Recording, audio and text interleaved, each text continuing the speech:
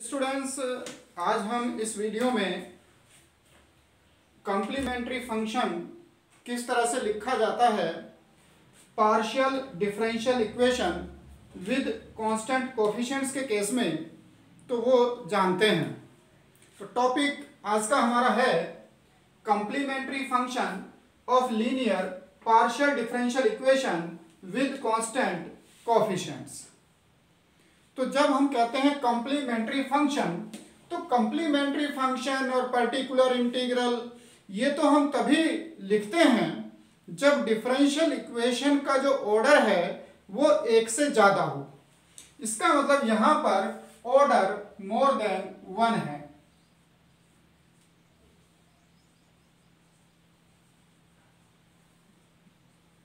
तो complementary function किसी भी डिफरेंशियल इक्वेशन में आप तभी बताते हैं जब उसका ऑर्डर एक से ज़्यादा होता है।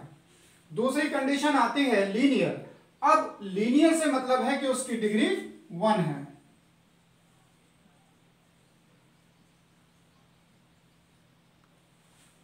तो हम क्या पढ़ रहे हैं?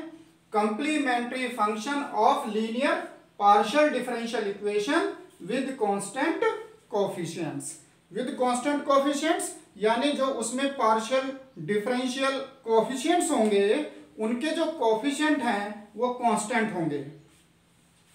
तो इसको हमने दो कैटेगरी में लिखा है, एक नॉन होमोजीनियस और दूसरा होमोजीनियस तो किनको नॉन होमोजीनियस और किनको होमोजीनियस कहा जाता है, वो समझते हैं कि किसी भी partial differential equation of order more than 1 and degree 1 with constant coefficient, उसे हम इस तरह से लिख सकते हैं, f d d dash, z equal to a function in x y तो जो लेफ़्ट हैंड साइड पर आप लिख रहे हैं, f d d डैश ये क्या है? ये एक फ़ंक्शन है, d और d डैश में, जिसे लीनियर डिफरेंशियल ऑपरेटर भी कहा जाता है।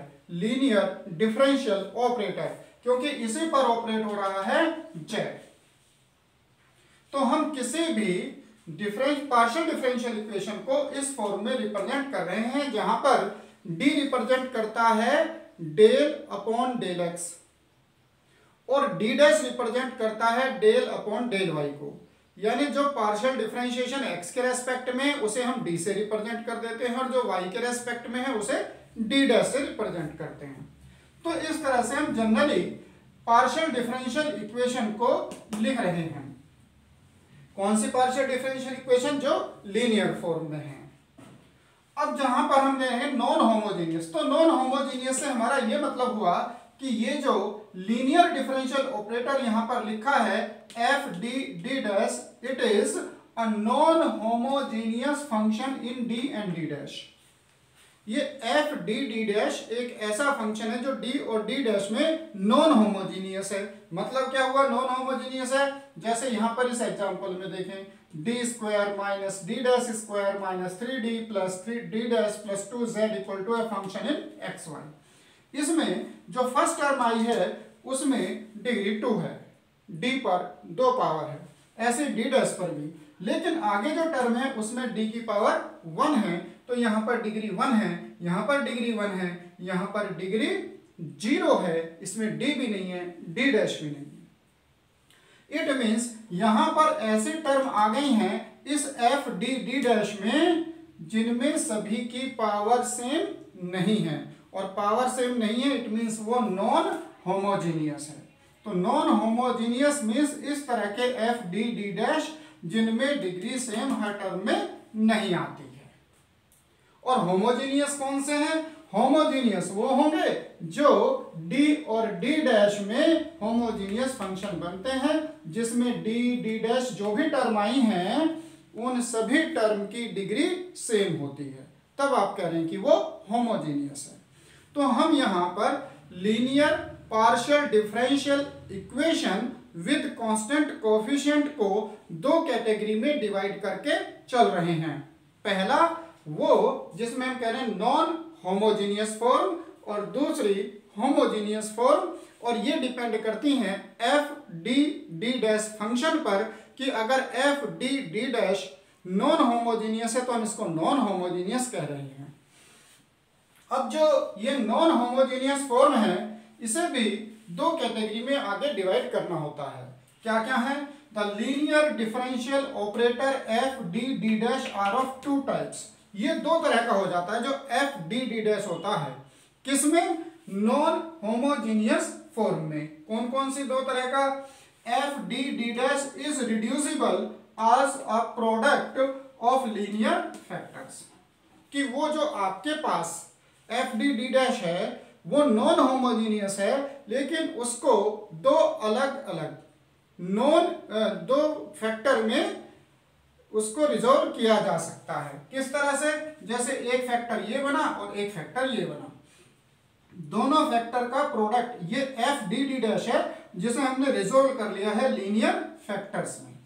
मैंने यहाँ पर इक्वल टू ज़ीरो इसलिए ले लिया है क्योंकि हम केवल कंप्लीमेंट्री फ़ंक्शन की बात कर रहे हैं और कंप्लीमेंट्री फ़ंक्शन का मतलब होता है कि लेफ़्ट हैंड साइड का सॉल्यूशन तो हमने राइट साइड को यहाँ पर ज़ीरो लिख दिया है। अब ये जो लीनियर फैक्टर्स यहाँ पर आए हैं, इनका जो कंप्लीमेंट्री फ़ंक्शन है, उससे हम ऐसे लिखते हैं e raise to the power k one x k one यहाँ पर ये कांस्टेंट टर्म होगी, जिसमें डी और डी डैश नहीं है।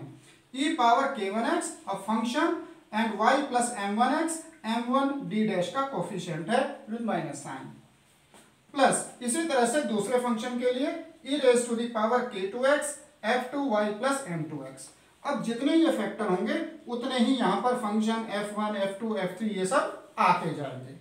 तो ये तो तब है सी एफ़ लिखने का तरीका, जबकि एफ़ डी डी डैश जो है, उसे हम रिड्यूस कर सकते हैं as a product of linear factors लेकिन अगर उसे लीनियर फैक्टर में रिड्यूस ना कर सके। इसका एक एग्जांपल देखिए कि यहाँ लिखा है D minus D dash square z equal to zero अब नॉन होमोजीनियस फॉर्म है, क्योंकि यहाँ पर डिग्री वन है और यहाँ पर डिग्री टू है, लेकिन इसके कोई फैक्टर हम नहीं कर पाएँगे। तो जब हम फैक्टर ही नहीं कर पाते तो उसे हमने कहा है F D dash is irreducible to linear factors इन्हें लीनियर फैक्टर्स में नहीं लिखा जा सकता। तो फिर हम यहाँ पर सी एफ़ के लिए ट्रायल मेथड यूज़ करते हैं। ट्रायल मेथड क्या है कि आप ट्राई करते हैं, आप एज्यूम कर लेते हैं कि यहाँ पर z equal to e raise to the power h x plus k y इस पार्शियल डिफरेंशियल इक्वेशन को सेटिस्फाई करता है। तो ये स्टेप वाइज यहाँ पर है कि आपने एक सपोज़ किया कि z equal to A e raise to the power h x plus k y इस पार्शियल डिफरेंशियल इक्वेशन को सेटिस्फाई करता है। अब सेटिस्फाई करता है तो आप इससे सेटिस्फाई कराएँगे तो आप यहाँ से del z upon del x del z upon del y इन सब वैल्यूज़ को लेकर जो भी क्वेश्चन आपको दिया है, उसमें इसको पुट कर देंगे। तो स्टेप टू में क्या करते हैं? Solve F D D dash A e raise to the power h x plus k y equal to zero इसमें यहाँ पर जेड की वैल्यू हमने पुट कर दी और इसे सोल्व कर लेते हैं। सोल्व करने पर या तो आप एच की वैल्यू के में फाइंड कर लेते हैं या फिर के की वैल्यू एच में फाइंड कर लेते हैं। यानी या तो के को एच में बना दो या एच को के में, जो भी आपको इजी लगता है। फिर क्या करते हैं नेक्स्ट स्टेप में? Putting the value of h in k और the value of k in h in z equal to this आपने क्या माना था? कि Z equal to A raise to the power H x plus के वाई उसका एक सोल्यूशन है। उस सॉल्यूशन में अगर आपने h को k में पता कर लिया है तो h की वैल्यू k में पुट कर देंगे। और अगर k को h में पुट किया है तो k की जगह पर h में जो वैल्यू आई है, उसे पुट कर देंगे। तो इस तरह से हम यहाँ पर z इक्वल टू इतने में h या k जो भी आपने सोल्व किया, उसकी वैल्यू पुट करेंगे। अब लास्ट और फाइनली इसमें यह होता है कि आप उस कंप्लीमेंट्री फ़ंक्शन को जनरल फॉर्म में कैसे लिखते हैं?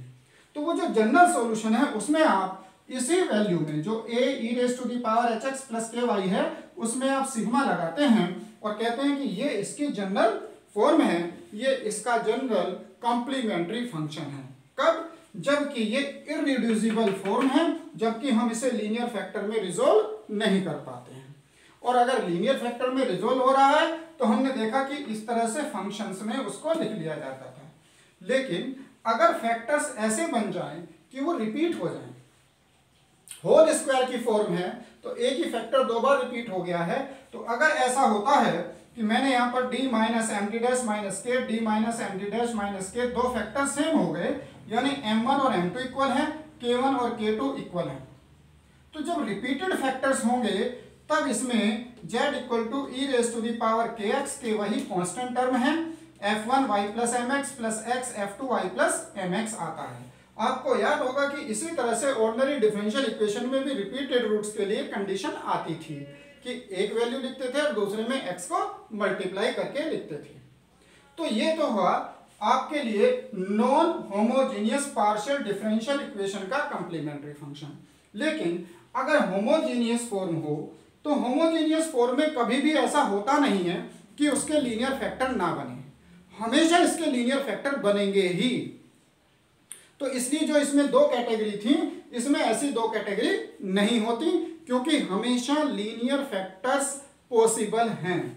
अब वो लीनियर फैक्टर्स अगर इस तरह से हैं, d minus m one D dash D minus m two D dash z equal to zero तब हम उसका सी एफ़ कंप्लीमेंट्री फ़ंक्शन इस तरह से लिख देते हैं फ़ंक्शन एफ़ वन और एफ़ टू में।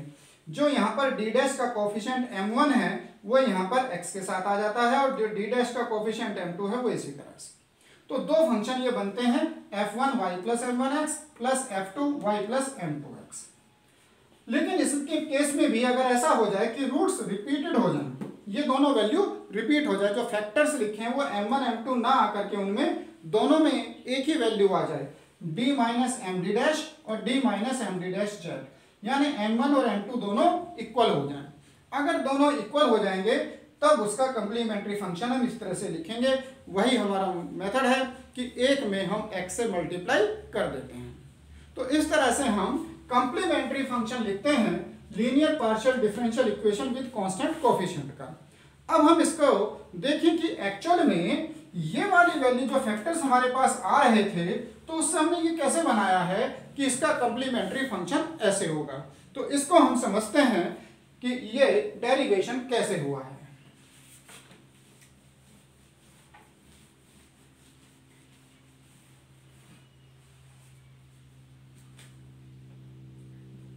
D minus M one D dash minus K one Z equal to zero ये एक फैक्टर ले लिया गया है।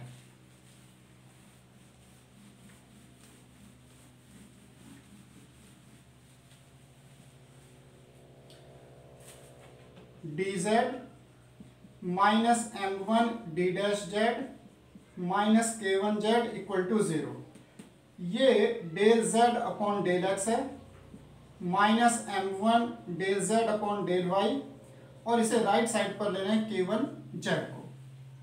तो यहाँ पर इसे हम पी लिखते हैं, ये क्यू है, और equal to K one Z तो अब ये एक तरह की ऐसी इक्वेशन बनी है जो partial differential equation of first order है। जिसमें पी और क्यू है। और ये P P plus Q Q equal to R की फॉर्म है, जिसे हम कहते हैं लेग्रांजिस फॉर्म तो लेग्रांजिस फॉर्म को सोल्व करने के लिए हम लेग्रांजिस ऑक्सिलरी इक्वेशन यूज़ करते हैं। तो देखिए कितना इजी सा प्रूफ है ये। D X upon one D Y upon minus M one और D Z upon K one Z इस तरह से। अब जैसे आप लेग्रेंजिस मेथड में करते हैं, इसके पेयर बना करके सॉल्यूशन बनाएँगे।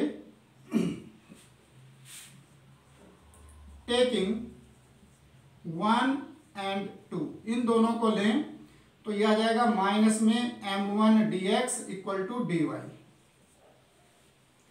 यहाँ पर कांस्टेंट ऑफ़ इंटीग्रेशन लें, सपोज़ ए ले लिया A minus M one X equal to Y या ये कहें कि A equal to Y plus M one X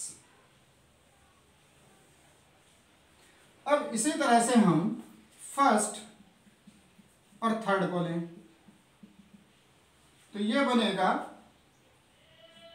K one D X equal to D Z upon Z K one X equal to log Z और यहाँ पर एक constant of integration जिसे हम लॉग बी ही लिख रहे हैं। K one X equal to log ये राइट साइड जाने पर माइनस होगा और लॉग की प्रॉपर्टी से जेड अपॉन बी आ जाएगा। This implies Z upon B equal to K one E raise to the power K one X तो ये इस तरह की फॉर्म बनी। अब इसमें